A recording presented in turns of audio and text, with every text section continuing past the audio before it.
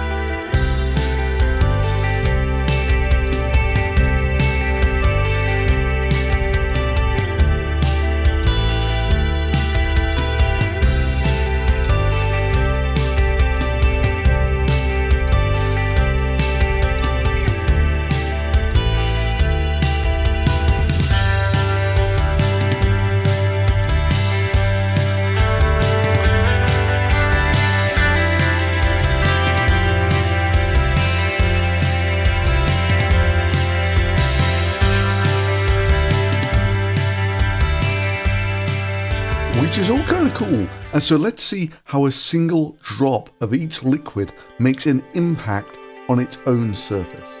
And see if you can spot the connection between surface tension and what happens next.